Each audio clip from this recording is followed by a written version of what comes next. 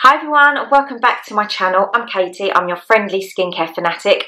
So if you're skincare obsessed like me, then please hit the subscribe button down below. It really does mean the world to have you with me. In today's video, I'm going to be going through everything that you need to know about combination skin. So without further ado, let's get into today's video.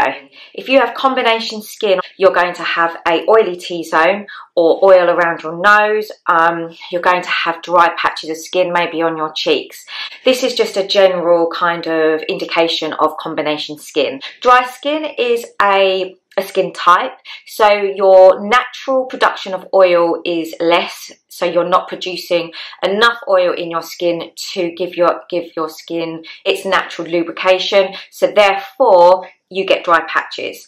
Um, with oily skin, it's the opposite, and your skin is overly producing your natural oil, which is known as sebum, and this can cause oiliness, it can cause congestion, and leads and can lead to breakouts. So having these two types of, of um, skin types in, in one is known as combination.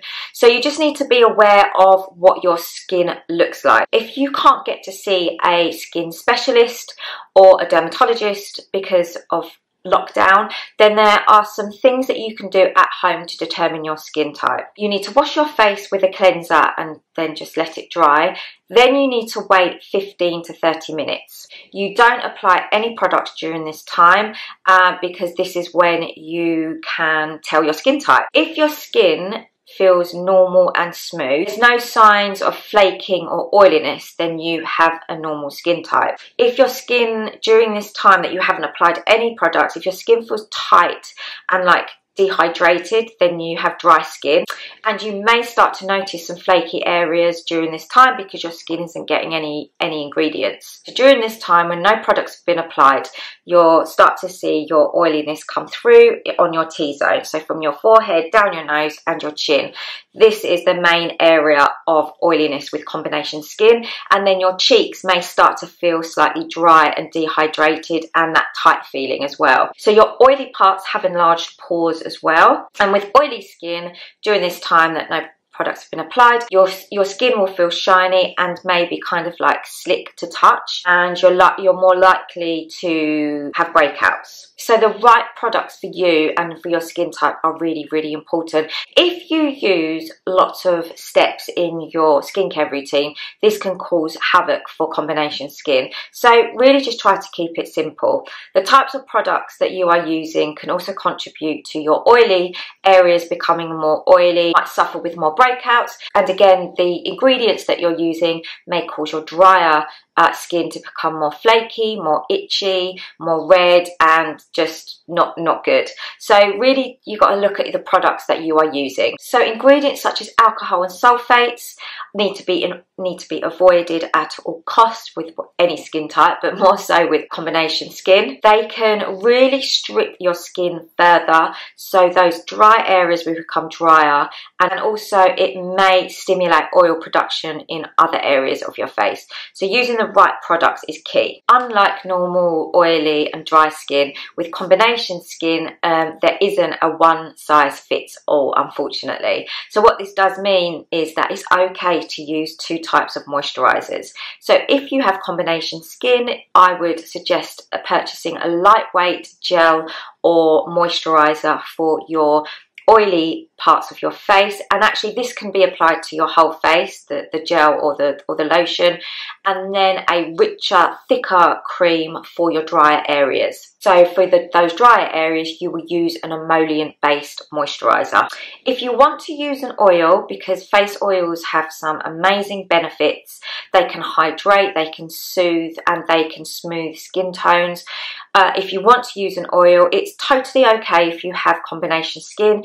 Instead of applying it to the whole face and massaging it on your face, you just need to apply it to the areas that need it in a dabbing motion.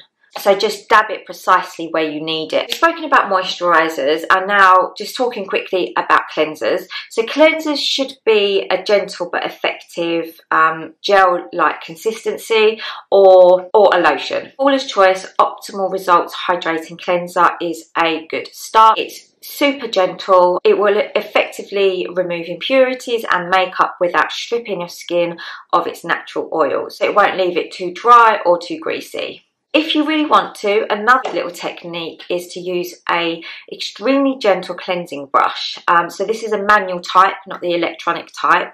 And you can just use this in circular motions on your skin, but the bristle has to be super, super gentle. Otherwise, you're just going to strip your skin. It will aggravate those dry areas and cause tightness. So using a toner is also important. It restores your skin's natural pH level back to normal. So using a well formulated toner will really help to nourish dry skin and minimize oiliness at the same time. So in terms of exfoliation, exfoliation is brilliant for removing your those dead skin cells, for increasing cell turnover and just giving your skin a lovely radiant glow. But knowing the right type of exfoliator is quite confusing. So if you have combination skin, it's good to use a non-abrasive type. So you get a physical um, exfoliator where it's got tiny particles in and you uh, gently rub it, rub your face and those tiny, tiny molecules will break down dead skin cells. You wash your face and those dead skin cells are washed away as well. With a leave-on exfoliator, such as BHA. So these types of like um, acid toners help to shed the skin naturally without abrasion. So there's no scrubbing. They can unclog pores, lessen oily skin while gently smoothing rough, dry skin. BHA means beta hydroxy acid. BHA helps to unclog pores and gently smooth rough and dry skin. So it's a really great multitasker whilst being gentle on the face. It also has hydrating properties to give your skin back its normal healthy glow. If you like a liquid, then Paula's Choice 2% BHA liquid if exfoliant is really good. Paula's Choice, what I like about her website is that you can buy trial sizes. I think it's about 3 mil and that's 70p or you can get a 30 mil and that's 10 pounds. So I love this especially because I can't get out to a Paula's Choice clinic. Things are starting to relax in the UK. It's just difficult at the moment with children and nursery and whatever else. So actually ordering a sample from your skincare brand is the way forward in my opinion and Paula's Choice um, allows you to do this. So it's 70p for a 3 mil or £10 for 30 mil. Now the 30 mil will last you ages so I think that is the way to go but if you just want to really test it out um, a couple of times then the 3 mil will be great and that's 70p. Okay so I've spoken about um, your cleanser, toner, your moisturizer and obviously SPF. So whatever skin type you have, you must, must, must always include an SPF.